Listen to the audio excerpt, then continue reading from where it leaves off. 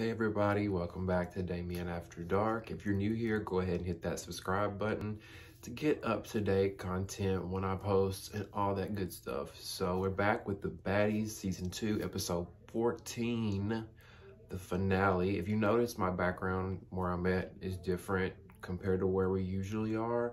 I'm not home right now and um, I was like, I gotta get this video out for y'all no matter where I'm at. So that's why we're not home in my closet or what it usually looks like. Anyway, so we're on the season finale of Baddies. I'm kind of glad the show has dwindled down and has come to an end. Um, it kind of got drawn out a little bit old there after a while. So we're here on the season finale. We get um, the reunion coming up. Thankfully, they're not gonna get they're not gonna make us wait a month or two for the reunion. So we get a little preview for that. If you notice, the trailer is or the first little trailer is out. You know, usually they release like a small trailer, then they release a super trailer. Um, the trailer looks really action-packed. Looks like there's going to be a lot happening, so I'm really excited about that. Looks like there's going to be a lot more happening and going on in the reunion than there was this season. Even though the season wasn't that bad, I give the season overall like a seven, six and a half out of 10. Somewhere between a six and a seven is what I give the season. It wasn't terrible. Um, so this episode begins, the girls are on the back porch of the house talking about how it's the last night being there. Um, Natalie puts a champagne bottle in between Persuasion's ass cheeks and says, y'all will put it between her ass cheeks, but won't let me deep throat the bottle. She then, she then was like, y'all, um, y'all put it between her ass cheeks, but I don't see what the problem is because we all share hookah pins. And I was thinking, you know, I saw on the news not too long ago that in New York City that this bar had a herpes outbreak because people were sharing hookah pen tips. And they said they was all sharing. Not saying that any of them have herpes or anything like that, but y'all be careful with them hookahs, okay? I don't hookah much. I got my own little, they call these hookah pens, even though I call it a vape. But, you know, I think I've done hookah out with friends one time a few years ago in Atlanta. But other than that, I don't really do it. So if you do it, don't be sharing tips, okay? Um, let's see. So y'all notice, I noticed something at the beginning of that episode in that scene, Jayla kind of stripped down and she jumped in the pool. She got completely naked. I mean, we saw everything down there pretty much. And um, in Persuasion's interview, her confessional, she was like, yeah, Jayla got naked. She had these cute little bitty titties and this cute little bitty booty. And I'm like, you know, she didn't have some like little bitty breasts to me or big or little booty to me. Like I feel like society's standards have become so fucked up of what a woman's body should look like. In my opinion, Jayla's body looked banging naturally. And no shade, persuasion. Y'all can come for me when I say this. Jayla looked, her body looks better than persuasion's, and her body is all natural. Not saying you can't get a beautiful body within surgery, but I feel like some of these girls go too far. And I'm not nowhere as a man to tell a woman what they should do with their bodies, you know, vice versa. But these women go too far, like persuasion, and the, it just don't look natural. Like the thighs don't match. Like, why don't y'all just get like the smallest implant you could get and just add a little bit of umph to it? You know what I'm saying? Like, does anybody else agree with me there? Um, now of course, the girls are going to, tonight they're having a party. It's either always a party or a club, but whatever. Um, they're going to a club. That's all the show's been. But they're on tour, so I guess what else what else can the baddies do when they're on this tour other than go to clubs and host parties, right? Um, Jayla pranks the girls and says, "Oh my God, someone's trying to steal the baddies bus." When in all actuality, the girls go outside and the bus pulls up and Rock comes out of the bus. Now, if you remember from a few episodes before, Rock was arrested, detained, however you want to call it, while the girls were in New Orleans. She had a warrant for um, a charge when she got arrested for marijuana back in Oklahoma. And they literally came to New Orleans and got her. So we um, see her come back into the fold of the group and she's hugging all the girls. She's smiling and y'all peep Slim. Slim being Slim. So Slim in her confessional was like, I ain't happy. I don't care that she's here. I don't care. Nope. I don't. I don't. I don't give a shit that she's talking about rock, like playing like because all the girls were hugging her. They're glad, and I'm like, Slim, what are you talking about? You not realize you're on like what you're saying in your confessionals is not matching up to what you're doing on camera because you're sitting there and hugging and smiling just like the rest of the group is. So you're being fake as fuck, Slim. Like that's why I don't really fuck with her because like what you say in your confessionals and what you do sometimes be two totally different things. Like it's like, yeah, I don't even know where to go with you, girl. Um, like, and, I, and you know what? I liked Slim at the beginning. I really did, but I just really don't, like, but towards the end, like, so some people that I hated at the beginning, like and I hate is a strong word, didn't really hate them the ones that I disliked the most at the beginning, like Anne and Scotty, I ended up liking more towards the end. Versus Slim, I liked her at the beginning, but towards the end, like she just really showed her true colors for me.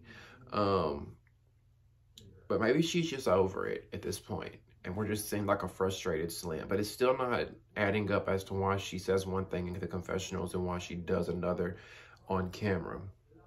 Rock, Slim, Rolly, and Anne are on the way to a sound check because they're going to be performing at this party that they're having. Um, each of them are an artist, I guess. I didn't know that about them. Slim's not. Slim's not an artist, but Anne, Rock, and Rolly are. And they are going to be performing at this um, party that they're hosting.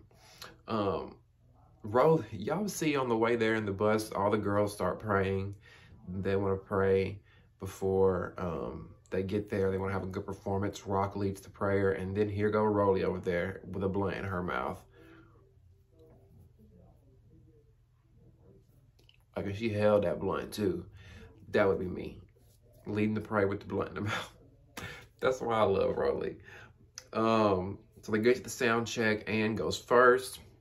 And I, you know, Anne's song's okay. I like it. It kind of you know, it grows on me as the show goes on. Um, I feel like it should have been the theme song, actually. I can't remember how it went. Something about a baddie, baddie, something. Um, I don't know. But, and does her song, you know, it's cool. Rock does her song, which is a more slower tempo song. It's called Rainy Days, um, which you can tell is like an emotional song for her.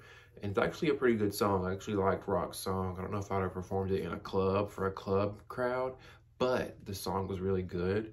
Um, and you can tell that she was getting emotional during the sound check. And I'm sorry, Rock, but there was one moment when she was performing, she kind of like started like doing this face when she was looking at Roly. Like, I don't know. It's like this ugly cry. And I felt like, I felt bad for her, but I wanted to laugh at the same time. I'm sorry, Rock. Um, I know I'm probably an ugly crier too, so I'm not even gonna blame her. Now, when Rock was hugging on Roly, did y'all peep Slim in the background? Slick pissed. If I can put it on the screen somewhere up here, I'm gonna put it on the screen, okay? I hope I can get it up there. Sometimes YouTube like when I add stuff on the screen and, and make the video more complicated, YouTube does not want to upload my video. So I don't know, I'm to try to get on the screen for y'all. I got a perfect frame photo of Slim in the background. Like, like she was not feeling Rock hugging on Roly that way and them having a moment there. And I'm like, oh, Slim's hating. Like, and I would like, I understand that your friend sometimes it may hurt a little bit, like you see your friend fucking with your ops in a way. But at the same time, like I wouldn't let them let they would have not seen me be pissed for nothing. I would have, ah, go right ahead. You wouldn't have seen me, you know, you wouldn't have seen me slip at all. And then Rock knew what she was doing because there's another picture that I have that I want to put up here as well, hopefully, where Rock turns around after she's hugging Roly and she smiles real big at the camera. Like Rock knew what she was doing. She's like, I'm just going to hug your friend, bitch, and we're just going to have a moment, and I'm gonna piss you off. And it worked. At least that's from my perspective. I'm not saying that's what Rock was saying, but that's what it looks like. Okay, that's what it looks like. Um, so I'm just being shady, y'all. There's a lot of filler in this episode. Um, a lot of footage of them just getting ready, them in the room talking and saying, bitch, you know, you cute, you know, you cute, yes, bitch. You know, the thing girls do. We get footage of that. Um, and then they're at the party. They get to the party.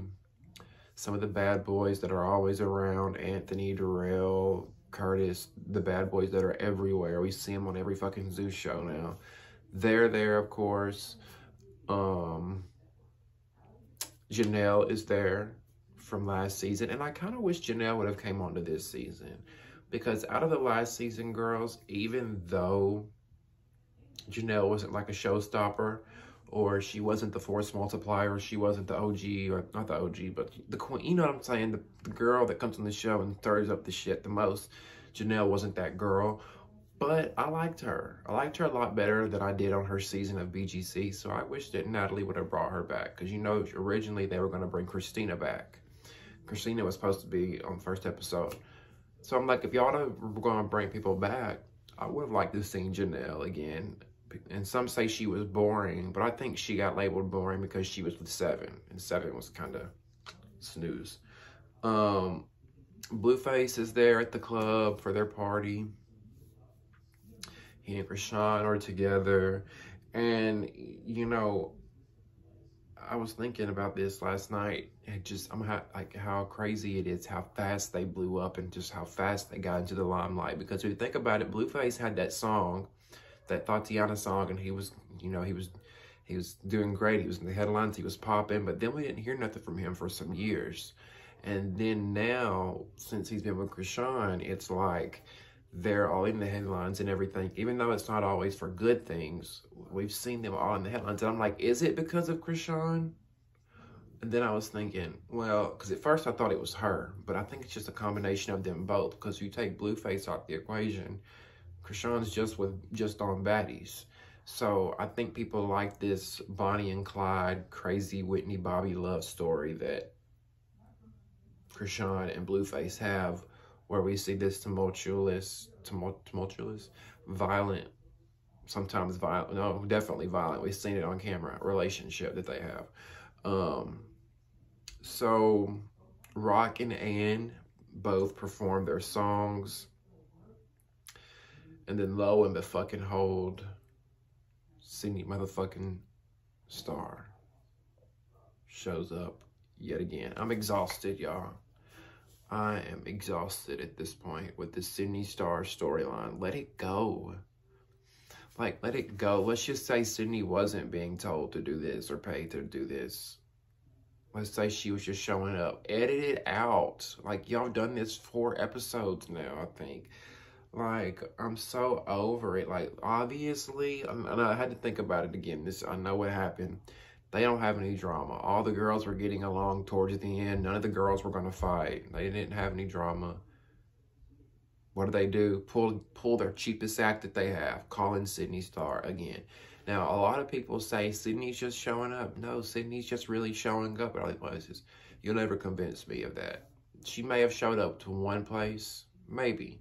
But I think the rest, the producers paid her and wanted her to be there. You're not gonna not gonna convince me of any different. Rolly performs. Um, oh, and by the way, Sydney gets thrown out of the club, or she gets does she get escorted out? She gets arrested later, which we'll get into that. But what happens with Sydney? I think she gets. I don't like. Can't believe I have that in my. I don't have that in my notes. Um. I don't know. I'm sorry. I don't know what happens there without y'all. Rolly performs her song. Now, I like Rolly's song. I could throw some ass to that. Y'all let me know in the comments whose song did you like the best? Anne, Rolly's, or Rocks? I like Rolly's the best, probably. Um, but yeah, she performed. And then who was Slim? Did y'all notice in the confessional Slim was talking about someone and she said, Ro- uh, Rolly did an amazing job in her performance, even though somebody wanted to fucking interrupt her. Like, and I'm like, who is she talking about? Because I never saw her performance interrupted. The only thing I could think of was maybe when Natalie was on the mic saying things. So, somebody fill me in if y'all know at home what was Slim referring to when she said that Rock that Roly was being interrupted. God, so many names I can't keep them right. Um So we're getting towards the end of the episode, of course. Um, Rock is talking about her experience doing the show and how cool it's been for her in her career. Um, you know, she's talking about that. And like I said earlier, she, I don't think people realize it, but she really is blowing up. I see Rock doing some big things and not even, not even just musically. I just think she's going to be able to get a lot of, if she plays her cards right, she's a hot name, a hot ticket right now. She could, she should be getting brand endorsements, big deal, you know, Instagram stuff, all sorts of things because she stays in the damn blogs and shit. Um, so they're leaving the club and here comes Thirst Bucket Star again. And at this point, just end the goddamn show because I'm over it. I'm over it. In the show because y'all just cheapening it even more. They got Slim crying in the confessionals, talking about how I ain't got no opportunities, I ain't got no friends, I ain't got nobody. And then at the same fucking time, while Slim's crying, they've got Sydney Star being arrested in the same fucking frame, like in the same package. Like, it was like this sad,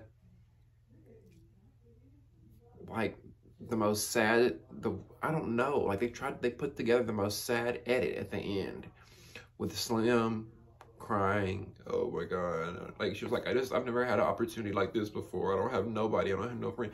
And then all of a sudden Sydney's getting arrested and it's just like, what the fuck? um, Sydney went out sad as fuck, by the way. The police literally carried her out. And I'm like, did that, like the real fucking police carried her out. I'm like, I know Zeus did not pay nobody to dress up like police to make it look like that she was getting thrown out of there. This girl literally got escorted out. No, handcuffed and carried out. I don't know if she got arrested or not, but Sydney, it's not a good look, boo. Do you think anybody's going to want you to really be on their reality show? Were you acting like this? You'll do anything for a few dollars and some change. Sit down, Sydney, please. Um, so the show ends with everyone outside the bus talking about the season and how this was the best one, even though there's only one other season, which wasn't hard to one up because season one was trash. Um, and I think season three should be all unknown girls. That's just my opinion. No Natalie. Season three needs to be all new girls that we don't know with no Natalie. And Natalie, if you really want to be an executive producer, it's time for you to take a step back out of the talent position and be an executive producer and give other girls a chance. Put new girls on. Take take lead from Joseline's Cabaret and Bobby's new show. They have all new cast members who are unknown, who submit audition tapes that they get off the streets. That's what makes the best TV not these people that we already know and have seen. It's simple.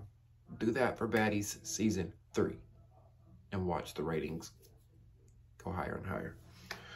Um, so yeah, that's the end. Who was your favorite this season? I think y'all probably know, like I said, Roly was probably my favorite, even though she said some shit that made me side-eye her at times. Roly was probably my favorite. My least favorite was probably, I didn't really have anybody that I hated or disliked that much, but Slim and Bri were probably my least favorites. I just feel like they were like paint drying to me, um, especially Bri. No shade, Bri. I feel like you'd probably be cool outside of a TV show, but you're just not the most exciting for reality TV. That's just that's just what it is. Could have could have could have gone without you. I could have gone without Bri this season would have been just fine, or we like we could have replaced Bri with Janelle, or you know I don't know. Um, let me know what you know, what you think about the season in the comments. Who was your favorite? Who was your least favorite? On a scale of 1 to 10, what do you rate the season? I give it a 6, 6.5, maybe a 7. Um, let me know. I want to hear from you. What did you think about the last episode? Do you think Sydney, thirsty star, was doing too much? Or do you think she's justified in what she's doing? Because Natalie told her she'd be a part of season two when she lied to her. Is Sydney justified for still coming around? And have you seen the reunion sneak peek? You know we'll be back and we'll be talking all about it. I'll see you next week.